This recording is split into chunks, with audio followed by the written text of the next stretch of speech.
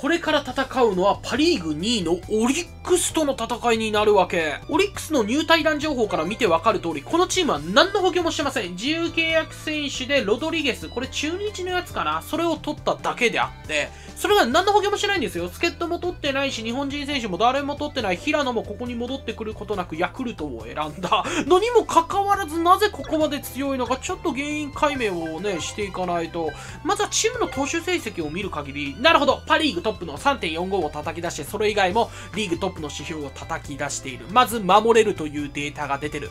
トップとワースト比較したらね、2近くの差があるからね。すごい差やな。それでいて、打つ部分で見ていくと、得点数はワーストやわ。ただ打率は高い。まあ、しかし得点数がね、そのワーストなんで、得点は取れるチームではない。しかし守れるので、勝てている。だからパリーグ2位につけてるということか。これまた個々の成績を歴代の投手メンバー、野手メンバーから見ていくと、投手はこんな感じで。いや、いいですよね。先発ローテがみんな防御率2点台でまとまってる。新加入のロドリゲスも結果残してるじゃないですか。これを見切った GM はバカやね。誰やろうかね。で、リリーバーに関しても、いいですよね。勝ちパターンの投手は結果残しているんで、なるほど。いえばチームのデータ通りですよ。ここでも投手の成績はよく。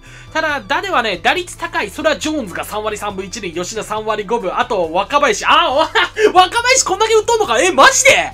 若林というのはこれ元巨人の選手でトレードで差し出した選手なんですよね。この物語の1年目に。まさかここまでの活躍してるとは思わなかったわ。え、規定打席到達している選手ではチーム2番目の打率を残していて、まあ、ホームランも3本、打点23打点得点圏でも結果残している。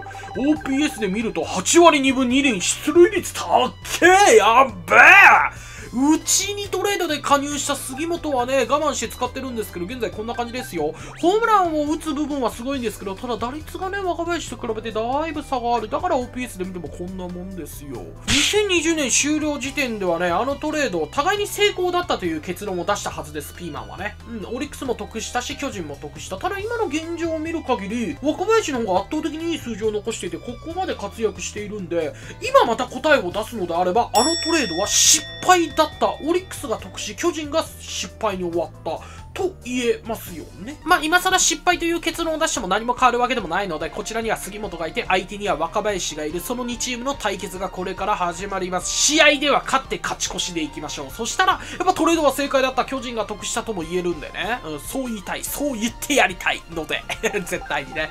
まず1試合目に関しては高速試合で見ていこうかな。今日のピッチャーは太田でいいでしょう。野手に関しては今日 DH がないので、まあ、こういう感じになる。やっぱ坂本状態悪いんで外した方がいいよな。もうこれはその日その場で外していかないと。で、疲労を解いていかないとまずいわ。セカンドに関してはね、増田大輝とか田中俊太、この辺を併用してる状況なんでね、坂本が休みの日。ほんで、ショートにこの吉川直樹という感じで。松山の状態もいいし、メヒアすんげえ打ってるとこ外すの申し訳ないけど、今日はちょっと松山優先していこうと思うわ。で、まあ、こういう並びの中、勝てるか、相手ピッチャー、田島絶不調。で、若林は現在3番起用なんやね。DH なしだと。この若林がいるんで、その若林にやられて負けるだなんて、これ、最も恥ずかしいからね。これは俺だけじゃないんだよ。前年、巨人がね、成功、トレード成功に終わったと結論を出したのは、巨人ファンもそう思っとったんや。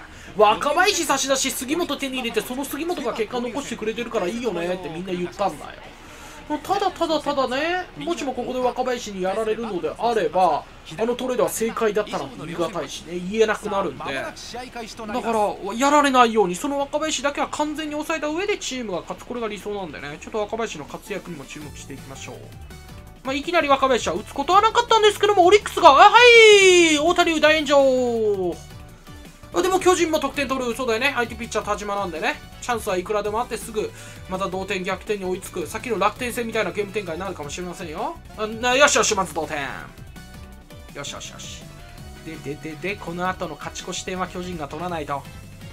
早く早く早く。早く早く早く。ちょっとやめて。あの試合終盤、若林の打席、同点の場面で迎えて、その若林に打たれるとかちょっとありがちなんで、あの怖いんで、あの分かるやろ。この焦り具合見て分かるやろ。それが怖いんで。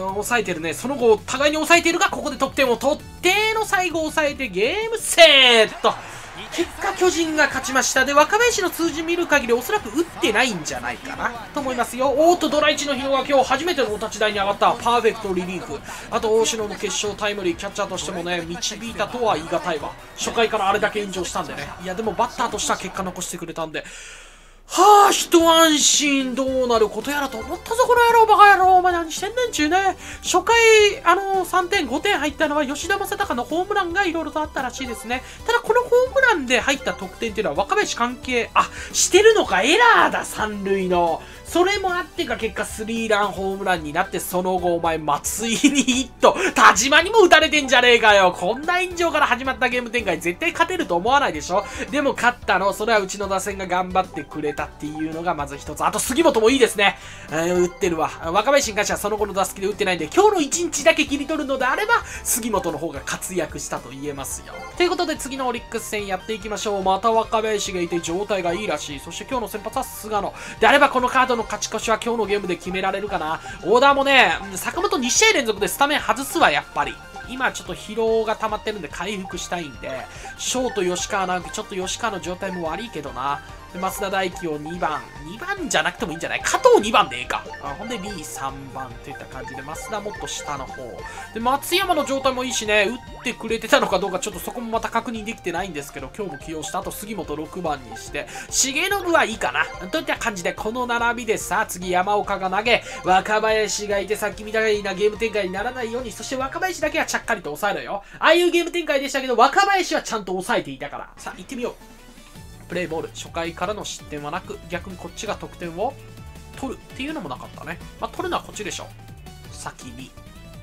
山岡。まあ、攻略は簡単ではないけどね。ただ、得点が全く取れない投手かと言われたらそうでもない。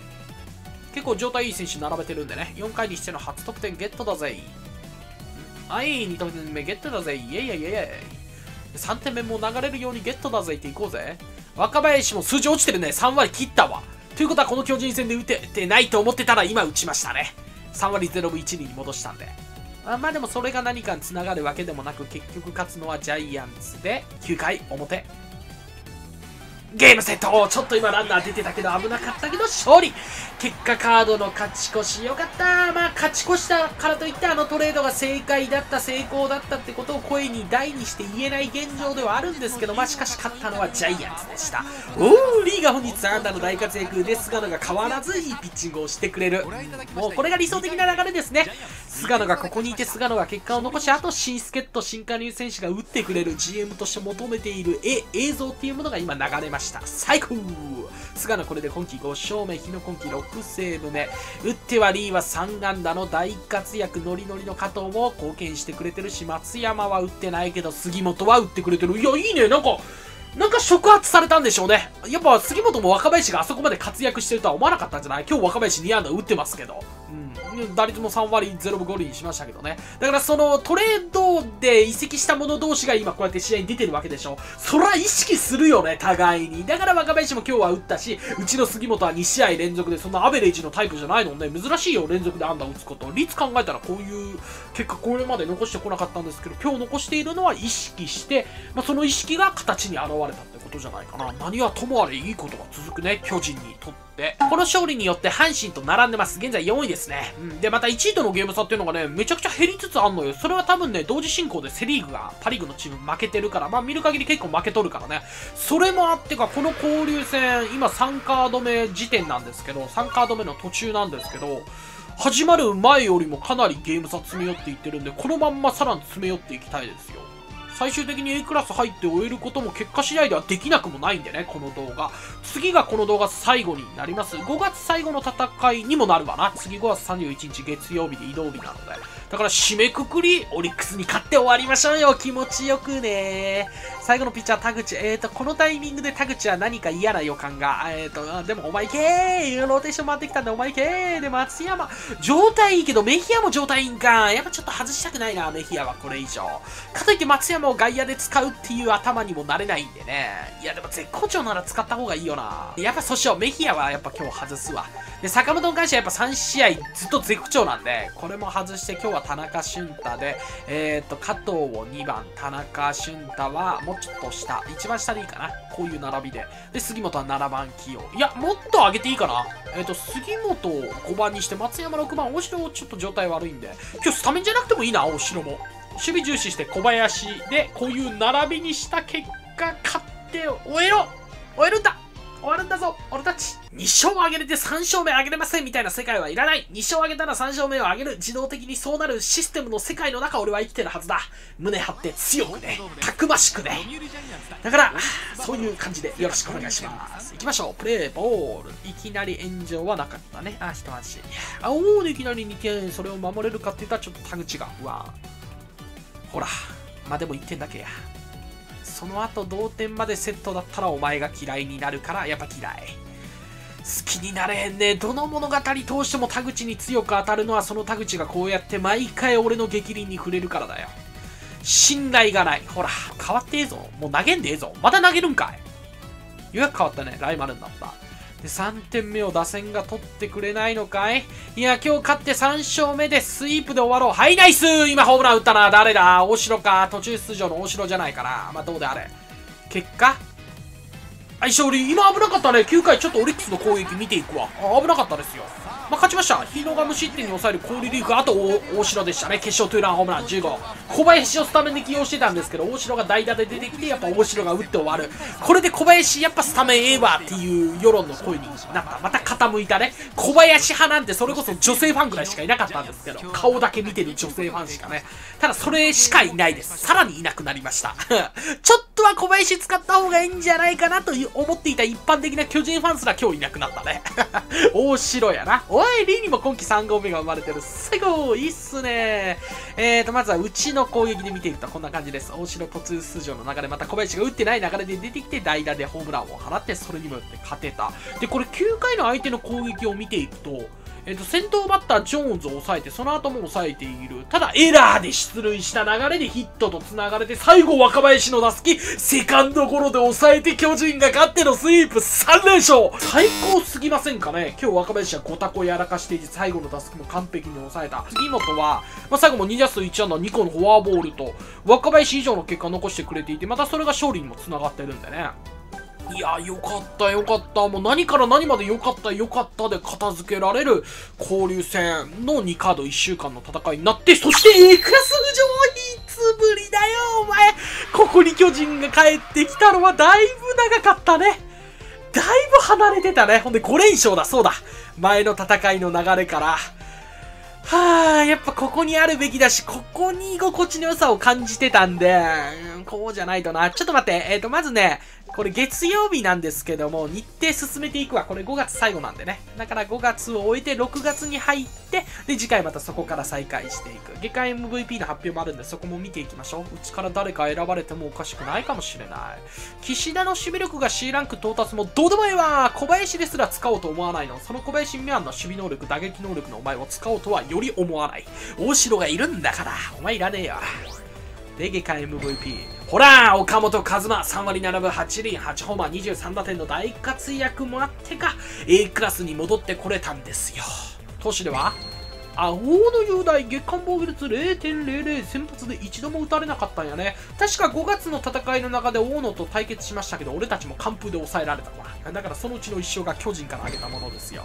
えー、パ・リーグの野手は浅村がすごい活躍やね。ただ10ホーマー19打点ってなんか気持ち悪くない？ほとんどソロとかばっかじゃないので、有原といった感じになりました。改めて、まずはセリーグの順位表から見ていくと、巨人は久々に A クラスに返り咲くことができました。交流戦の順位表で見ていくと、このようになっていて、現在巨人は1位ですね。ヤクルトと並んで、オリックス3連勝が大きく響いたんでしょう。まあ、しかし、あと9試合。残っている、3カード残っている状況ですからね、まだまだ先は続くわけなので、これを見てポジるのではなくて、今こういう現状ならば、この先も勝っていって1位をキープして交流戦優勝できるように頑張るわいという強い向上心を持ちましょう。その気持ちを忘れたら俺たちはすぐ下に行くからね。ほんで、新助っ人のリー、デビューからもう20試合以上出てるんですけど、現在の打率2割並ぶ6厘と上がりつつあるね。ホームラン監視も3本、打点10打点、そして OPS では、7割6分1出塁率も高い。うん、やっぱりね、予想通りですよ。能力が高い。まだ判明はしてないですけどね。強い選手なので、こういう活躍、いや違うな。もっと活躍を求めて取ったわけ。ですから今後ももっと打ってくれるし、それが巨人の勝利につながると思う。あと、加藤に関してもまだまだノリノリ止まることなくずっとね、続いてる。OPS で見たら7割3分8と少ない11試合の機会の中でもそれなりの結果残してくれてるんで、もちろん今後もノリノリである以上は使っていきます。ただ、なんとかその中ブレイク、覚醒を起こしてしてほしいんだけど、今回の動画でもなかったな。もうそろそろノリノリは終わるぞ。だからこそもうそろそろわかるよなと。やっぱノリノリが終えた時点でお前を使うという選択肢はないから覚醒がないとね。だからなんとか、プロ野球選手として巨人の選手として一軍に出たいのであれば己の手で何かを起こせ。頼んだぞ。ということで今回の動画は6月の1日火曜日まで日程進行しました。次回ここから始めて交流戦は残す3カード、日ハム戦、ロッテ戦、そして最後西武戦が残っているのでまたこれまた次回の動画でプレイさせていただく予定です。興味があればまた見てね。ということで最後までご視聴いただきありがとうございました。ググググッバイ。